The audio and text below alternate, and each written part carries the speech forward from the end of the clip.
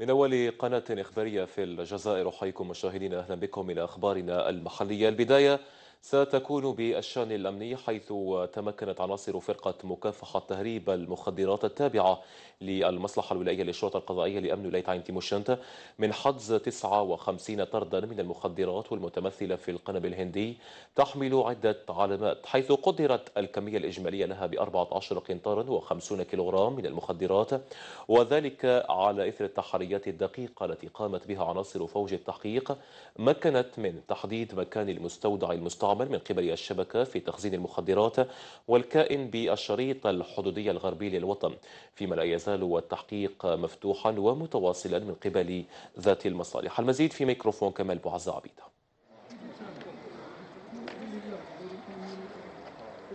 تمكنت المصلحة الولائية للشرطة القضائية آه، تحديدا فرقة قمع المخدرات الاتجار غير الشرعي بالمخدرات والمؤثرات العقلية لأمن ولاية عين تيموشنت. من آه، تنفيذ عملية نوعية تمكنت من خلالها من حجز 14 قنطار و50 كيلوغرام من الكيف المعالج. العملية هذه تمت بإحدى المناطق الحدودية آه، تحديدا بأحد المخازن المستعمل من قبل الشبكات الإجرامية النشطة في هذا الجرم المنظم.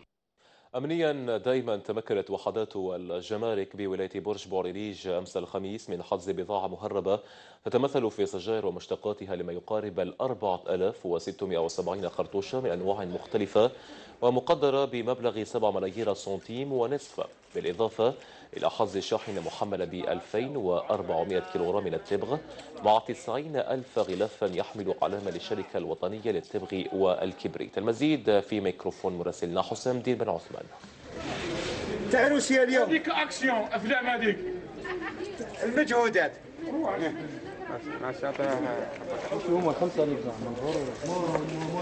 بعد المطاردة تم توقيف السيارة آه، تفتيشها تم العثور على بضائع مهربة تتمثل في آه، سجائر من نوع فيشر حوالي 2300 خرطوشة 450 خرطوشة من نوع مانشستر و1920 خرطوشة من نوع المعسل النوع الفاخر. قدرت القيمة الإجمالية ب 7 ملاير و500 سنتيم. توقيف شاحنة آه، من كاس واسونت محملة بالشمة حوالي 2400 كيلوغرام من الشمة و90 ألف غلاف يحمل علامة الشركة الوطنية للطب والكبد إلى موضوع آخر تتوصل انتهاكات حرمة الموتى عبر مختلف مقابر ولاية الوطن. العينة هذه المرة من ولاية غليزان حيث أدت أشغال إنجاز شبكة الصرف الصحي بالمقبرة إلى تناثر رفات الموتى في مختلف جهاتها ما دفع بالسكان المنطقة بمطالبة السلطات المعنية بالتدخل.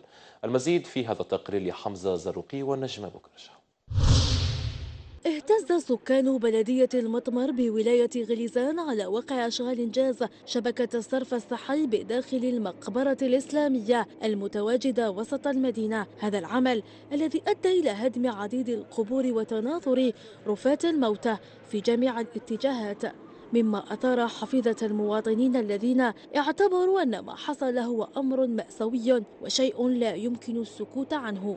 المقبرة هذه داروا فيها هذا المشروع بدون علم. ولا ما يعلموا الناس اللي معنيين بالأمر هنايا. راحوا جاو كومانساو في ال projet تاعهم راهم عندهم أربع أيام خمس أيام في ال projet هذا. راحوا توشوا البيز الأول طلعوا المقبره قالوا توشينا البيز. ما بغاوش يدقدقوا البيز ولا قعدوا يدقدقوا في عباد الله. فور سماع السكان لهذا الخبر والتأكد من انتهاك حرمة موتاهم قاموا بمطالبة على إثرها السلطات الأمنية التدخل من أجل وقف هذا الاعتداء وفتح تحقيق حول الحادثة ومحاسبة المتورطين. هذا المشروع ماذا بينا مليح؟ لبلدية المطمر لكن فيه شروط فيه شروط. إحنا المسؤولين نتصلوا به. يقولنا أنا ليس ليس لي علم بذلك. نطلب التدخل من سيد والي الولاية. اولا والي الولاية ثانيا رئيس دائرة المضمر بياخذوا إجراء صارم هذا هذا الزيكو هذا اللي داروه. أمر يثير الدهشة حقا. في وقت أصبحت فيه المشاريع تنجز على حرمات المقابر ما يدل على عشوائية الدراسات. بدورنا حاولنا الاتصال برئيس البلدية مرارا وتكرارا لكنه لم يبدي أي نية في الرد عن هذا الأمر.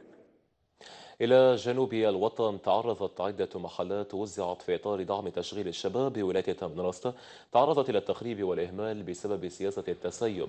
فبالرغم من جهود السلطات المحلية من أجل, من أجل أقول ترقيتها وإدخالها حيز الخدمة إلا أن المستفيدون لم يسعوا لفتحها من أجل استغلالها والمساهمة في تقليص نسبة البطالة. مزيد في ميكروفون مراسلنا عبد الرزاق حجي أنه من المؤسف أن نرى هذه آه، الإعانات التي قدمت من في من طرف الدولة آه، تكون كما هب الرياح. كما نشاهد المحلات يا متسخة يا مقفلة 24 ساعة على 24 ساعة طيلة أيام السنة. هي محلات كانت إحنا سابقة الأول عندنا نحن في المجلس نتاعنا لقيناها مخدومة ومريحة. ولكن كانت لجنة هكا على مستوى الدائرة ومستوى البلدية اللي كانت توزع السكن اللي توزع هذه المحلات للشبيبة. وبما أن الشبيبة داو هذه المحلات وأعطيناهم المحلات هذه صبحت المحلات هذه مهملة. كاين اللي نحوا البيبان كاين اللي كسروهم كاين اللي نحوا فيهم الأوساخ صبحت هذه المحلات مهملة.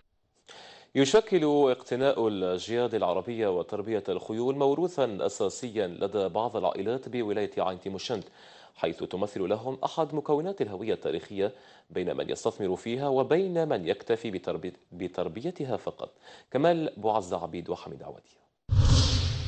تربية الخيول إحدى الهوايات المفضلة لدى فئة واسعة من سكان مدينة عين تيموشنت منهم من يمارسها في أجواء تقليدية حيث تمثل بالنسبة لهم أحد مكونات الهوية التاريخية فيما يحبذ البعض الآخر الاستثمار في تربية هذا الحيوان. خاطر عندنا مركب آه، قرية سياحية آه، Dorian Beach Club اللي في ترقة. وعولنا نديروا des des excursions avec des calèches نجيبوا des calèches من بسكره وبلوس العواد نتاعنا للسواح الجزائريين خاصه والاجنبيين بصفه عامه هناك عندنا فكره باش تكون استثمارات في تربيه الخيل بطريقه عصريه لاحتياجات اولا احتياجات سياحيه يعني كما قال لك انه ممكن تستعمل هذه الخيول في في في مجالات شتى وخاصه بالنسبة للسياح اقتناء الجياد العربية يشكل موروثا أساسيا لدى بعض العائلات من الأب إلى الإبن حيث اقترن اسم بعض الجياد أحيانا بأسماء مربيها. قال عودة عجبك زين دير له سومة شريه وروح لعب فوقه ولا يعطيه الواحد يلعب فوقه. فوت بيه عام ولا عامين ولا بعد يطلقه عادي.